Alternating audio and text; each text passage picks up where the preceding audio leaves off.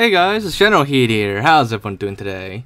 So, for today's video, we're going to be tackling the question of Does the Acrophobia skull still work for ODST on MCC now that's available on PC?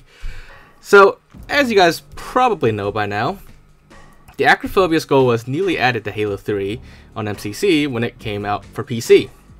It was a really awesome skull, and I say it in so many videos, but it's basically the best skull ever in uh, all of Halo. It lets you fly around uh, on demand in campaign, and it's just really awesome. But it was only for Halo 3, so what about other games like ODST? But before we get into that, I want to first announce an awesome giveaway from my sponsor Instagaming, where you can win any game of your choice.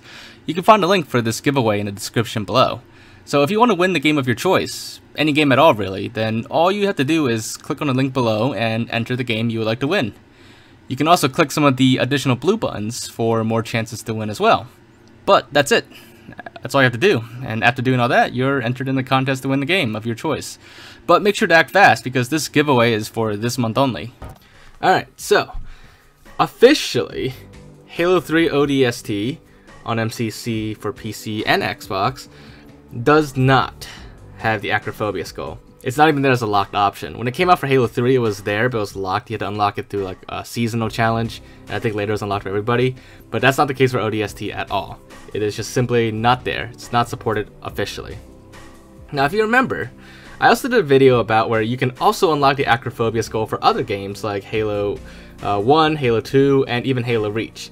Now, in the case of Halo Reach, it did not work. It did not do anything. You can still add it to the menu there and start the game up with it, but it just does nothing. But it did work fine in Halo 1 and Halo 2. It uh, actually worked perfectly in those games, and you could, you know, enable this go just fine using that mod.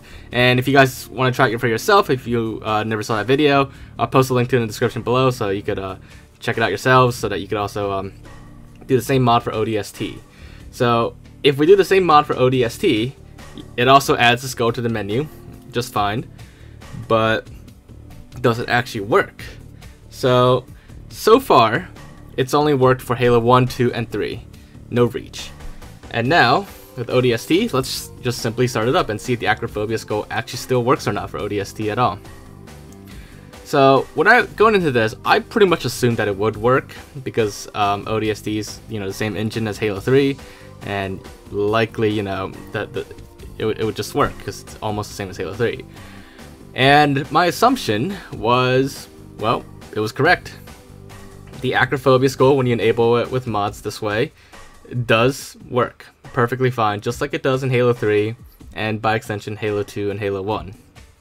It uh, all the controls are the same. You just jump and then hold down the jump button and to keep flying forward. And if you crash into something while going too quickly, you'll just basically splatter yourself. And you can also press the crouch button to uh, freeze yourself in midair to hold yourself in place to hover. But yeah, so the uh, Acrophobia skull does work just as well in ODST. And on certain maps, you can even get pretty far out to uh, to explore. Like on Uplift Reserve, you could skip the uh, the end loading point, the cutscene loading point, and you could fly all the way out here on top of these buildings, or even under the map a little bit, just to uh, you know do some exploration. So overall, it's a really cool skull to have in um, ODST. It's just not you know official, officially supported, but Using the same mods that uh, we did to enable for Halo 2 and Halo 1, it does work on ODST just fine. That being said, there are limitations on ODST. Not with the skull itself, but with actually ODST itself. Namely, ODST missions, ODST maps, have a lot of barriers on them compared to, you know, plain old Halo 3 and Halo 2 and Halo 1.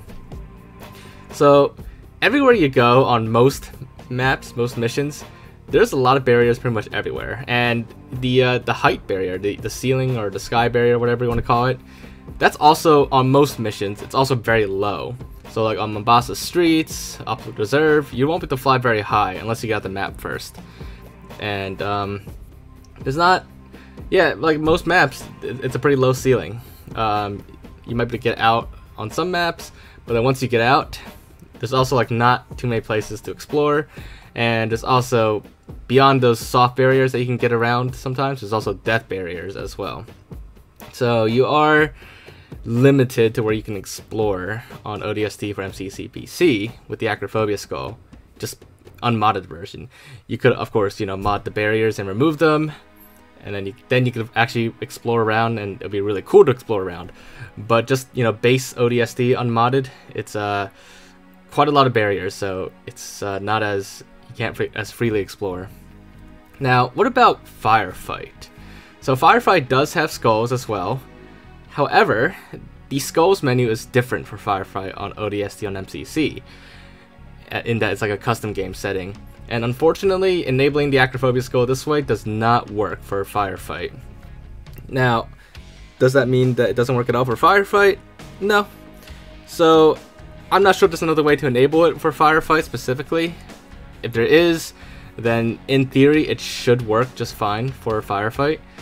But I, I don't, I'm not sure how to do it at the moment.